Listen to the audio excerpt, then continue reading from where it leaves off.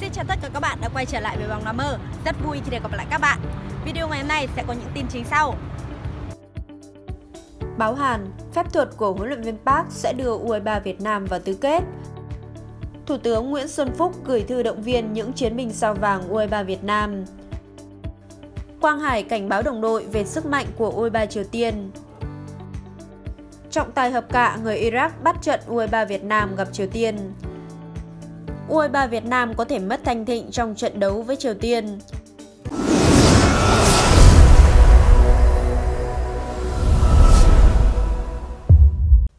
Báo Hàn, phép thuật của huấn luyện viên Park sẽ đưa U23 Việt Nam vào tứ kết.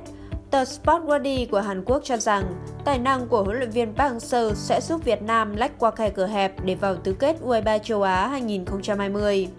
Trước lượt trận cuối cùng vòng bảng vòng chung kết U23 châu Á 2020, U23 Việt Nam đang gặp rất nhiều bất lợi ở bảng đấu của mình. Sau hai trận đấu đầu tiên, thầy trò huấn luyện viên Park Hang-seo mới chỉ có duy nhất 2 điểm và xếp vị trí thứ ba tại bảng D. Hiện tại, quyền tự quyết đã không còn nằm trong tay của U23 Việt Nam. Nhiệm vụ của thầy trò huấn luyện viên Park Hang-seo là giành chiến thắng trước U23 Triều Tiên và hy vọng U23 UAE và U23 Jordan thi đấu sòng phẳng, không bắt tay nhau để cùng lọt vào tứ kết. Tuy khó khăn, nhưng dưới sự dẫn dắt của huấn luyện viên Park Hang-seo, tờ báo Sport Rundy của Hàn Quốc cho rằng U23 Việt Nam sẽ vẫn có thể lách qua khe cửa hẹp để vượt qua bảng đấu này, tờ báo Hàn Quốc viết. Hai trận hòa đã khiến U23 Việt Nam rơi vào thế khó trước lượt trận cuối cùng của vòng bảng.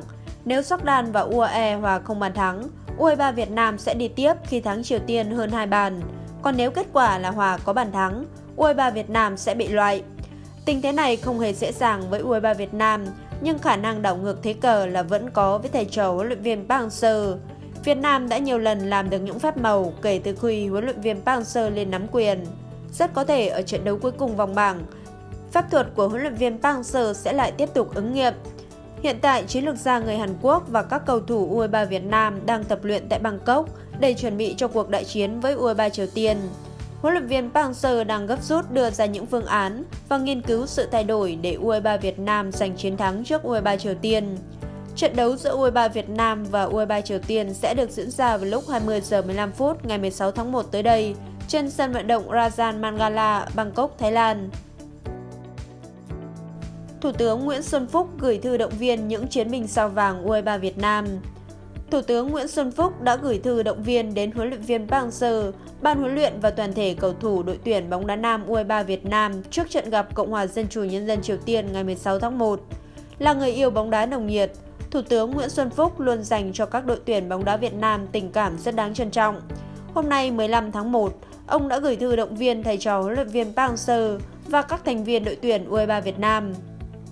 Trong thư, Thủ tướng Nguyễn Xuân Phúc viết, trong không khí rộn ràng đón xuân năm mới canh tí 2020, chúng ta vừa cùng nhau chia sẻ niềm vui về thắng lợi xuất sắc môn bóng đá nam tại Đại hội Thể thao Đông Nam Á lần thứ 30, SEA Games 30. Giờ đây, chúng ta vững bước tiến lên đối mặt với thách thức cao hơn ở cấp độ toàn châu Á, vòng chung kết U23 châu Á 2020. Những ngày qua, người hâm mộ và nhân dân cả nước theo dõi và ủng hộ mạnh mẽ từng đường bóng lăn của đội tuyển thân yêu. Chúng ta đã thi đấu mạnh mẽ, ngang bằng với các đội tuyển mạnh hàng đầu châu lục. Ngày mai 16 tháng 1, chúng ta bước vào một trận đấu mới đầy thử thách. Tôi và người hâm mộ, nhân dân cả nước chúc toàn thể đội tuyển bóng đá nam U23 Việt Nam những chiến binh sao vàng thân yêu, tự tin, tràn đầy sức mạnh, kiên cường, sáng tạo trong từng đường bóng, vững tiến trên đấu trường châu Á. Vì màu cờ sắc áo của Tổ quốc, rất mong sự cố gắng và giành chiến thắng quan trọng này. Thân ái! Quang Hải cảnh báo đồng đội về sức mạnh của U23 Triều Tiên. Dù được đánh giá cao hơn U23 Triều Tiên, nhưng đội trưởng Quang Hải muốn các cầu thủ U23 Việt Nam phải thật thận trọng ở trận đấu này. Chiều ngày 15 tháng 1, đội tuyển U23 Việt Nam bước vào buổi tập tại Bangkok để chuẩn bị cho trận đấu vô cùng quan trọng với U23 Triều Tiên. Thầy trò huấn luyện viên Park Hang-seo cần giành chiến thắng với cách biệt lớn nhất có thể, đồng thời chờ kết quả từ cuộc đọ sức giữa U23 UAE và U23 Jordan. Trước buổi tập, Nguyễn Quang Hải đã chia sẻ cảm xúc sau khi cùng toàn đội lắng nghe Phó Chủ tịch Liên đoàn bóng đá Việt Nam, ông Trần Quốc Tuấn đọc thư động viên của Thủ tướng Nguyễn Xuân Phúc. Tiền vệ sinh năm 1997 nói, Cả đội rất xúc động khi nhận được thư của Thủ tướng, bên cạnh đó là sự quan tâm, tình cảm mà người hâm mộ dành cho U23 Việt Nam trong thời gian qua. Đánh giá về trận đấu quan trọng với U23 Triều Tiên ở lượt trận cuối cùng vòng bảng, Quang Hải chia sẻ tiếp. U23 Cộng hòa Dân chủ Nhân dân Triều Tiên đã thua hai trận, nhưng phải nói rằng họ không phải là đội bóng yếu. Ban huấn luyện đã xác định cả đội phải tập trung và chuẩn bị thật tốt. U23 Cộng hòa Dân chủ Nhân dân Triều Tiên là đội bóng gắn kết, có sức mạnh và quyết tâm cao. Chính vì vậy, toàn đội U23 Việt Nam phải chiến đấu và quyết tâm cao hơn để giành chiến thắng. Đến thời điểm này, đội tuyển U23 Việt Nam cùng với U23 Trung Quốc là hai đội bóng duy nhất chưa thể ghi bàn ở vòng chung kết U23 châu Á 2020. Đội bóng đến từ đất nước tỷ dân đã bị loại, trong khi U23 Việt Nam cũng mất đi quyền tự quyết. Tuy nhiên, dưới thời huấn luyện viên Park Hang-seo, bóng đá Việt Nam đã nhiều lần tạo ra những phép màu khi lách qua khe cửa hẹp để đi tiếp vào vòng sau. Trận đấu giữa U23 Việt Nam với U23 Triều Tiên sẽ diễn ra vào lúc 20 giờ 15 phút ngày 16 tháng 1 trên sân vận động Rajan Mangala ở Bangkok. Trong khi đó, trận sắc đàn với UAE diễn ra cùng giờ trên sân Chang Arena ở tỉnh Buriram. Trọng tài hợp cạ người Iraq bắt trận U23 Việt Nam gặp Triều Tiên. Liên đoàn bóng đá châu Á AFC đã phân công trọng tài người Iraq là Mohanad Qasim Esse bắt chính trận U23 Việt Nam gặp Triều Tiên ở lượt trận cuối cùng bảng D thuộc vòng chung kết U23 châu Á 2020 diễn ra vào lúc 20 giờ 15 phút ngày 16 tháng 1. Trợ lý trong Saray là hai trọng tài Mahat và Gaithi đều là người Oman, còn trọng tài bàn là Sivakon Puadom người Thái Lan.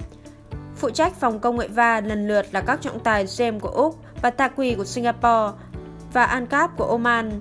Ông Sarey năm nay 40 tuổi, trở thành trọng tài quốc tế từ năm 2011 và làm nhiệm vụ ở các giải đấu lớn như vòng loại World Cup khu vực châu Á, Asian Cup, AFC Champions League, AFC Cup. Sở dĩ nói ông vua áo đen người Iraq trên là hợp cạ vì trong ba trận bắt chính có sự tham dự của các đội Việt Nam thì đều mang lại điều tích cực, trong đó có hai trận thuộc giải vô địch U23 châu Á. Trọng tài Sarey từng bắt chính trận vòng 16 đội AFC Cup 2014 mà câu lạc bộ Hà Nội TNT thắng đậm Nai Pijita với tỷ số 5-0. Sau đó, ở vòng loại bảng Y thuộc vòng chung kết U23 châu Á 2016, trọng tài người Iraq này điều khiển trận U23 Nhật Bản thắng Việt Nam với tỷ số 2-0. Tuy nhiên, kết thúc vòng loại năm đó, U23 Việt Nam giành quyệt gót mặt ở vòng chung kết với tư cách là đội nhì bảng có thành tích tốt nhất nhờ đánh bại Malaysia 2-1 và Macau 7-0. Tại vòng chung kết U23 châu Á 2018, ông Sarey cầm còi trận U23 Việt Nam thắng Úc với tỷ số 1-0 ở lượt trận thứ hai vòng bảng với pha lập công của Quang Hải. Trận thắng này chính là khởi đầu cho hành trình làm nên lịch sử của thầy trò huấn luyện viên Park Hang-seo. Theo đó, sau khi hòa series 0-0 ở lượt cuối vòng bảng để đi tiếp, U23 Việt Nam lần lượt đánh bại Iraq ở tứ kết, Qatar ở bán kết và chỉ chịu thua Uzbekistan 1-2 ở trận chung kết sau bàn thua ở phút cuối hiệp phụ thứ hai. Với diễn biến ở bảng A, U23 Việt Nam 2 điểm buộc phải thắng Triều Tiên đã bị loại mới có cơ hội đi tiếp, nhưng sẽ tùy thuộc vào hai yếu tố.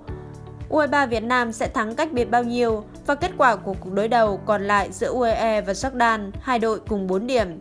Theo luật của giải đấu, nếu có từ hai đội trở lên bằng điểm nhau, tiêu chí đầu tiên được xét đến để phân thứ hạng lần lượt là kết quả, hiệu số bàn thắng bại, số bàn thắng đối đầu giữa ba đội. Điều này có thể dẫn đến trường hợp U23 Việt Nam vẫn bị loại dù thắng đậm Triều Tiên bao nhiêu bàn nếu UAE hoặc Jordan có bàn thắng. Bởi lúc này, cả ba đội đều có 5 điểm, đều hòa đối đầu bằng hiệu số bàn thắng bại không, nhưng UAE và Jordan lại xếp trên nhờ ghi được một bàn thắng ở đối đầu của ba đội với nhau. U23 Việt Nam có thể mất thanh thịnh trong trận đấu với Triều Tiên. Trong buổi tập của U23 Việt Nam chiều 15 tháng 1, Do bị chấn thương nên hậu vệ trái Đỗ Thành Thịnh đã phải ngồi ngoài nhìn các đồng đội tập luyện. Hậu vệ cánh trái này thậm chí không thể tham gia phần khởi động với các đồng đội. Nhiều khả năng Thanh Thịnh sẽ vắng mặt trong trận đấu gặp U23 Triều Tiên. Trong trận đấu với U23 Jordan, hậu vệ người Quảng Nam đã phải rời sân sớm nhường chỗ cho Đình Trọng khi không hoàn thành tốt nhiệm vụ. Huấn luyện viên Park Hang-seo đã có những hoán đổi vị trí khi Thanh Thịnh rời sân.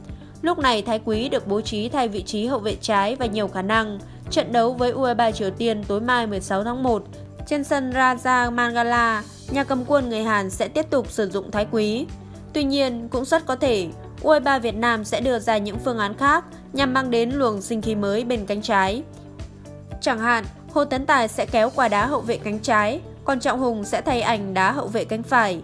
Vị trí này Cầu thủ người Thanh Hóa đã được thử nghiệm nhưng chưa có nhiều thời gian ra sân. Video của mình đến đây là kết thúc rồi. Cảm ơn các bạn đã chú ý đón xem.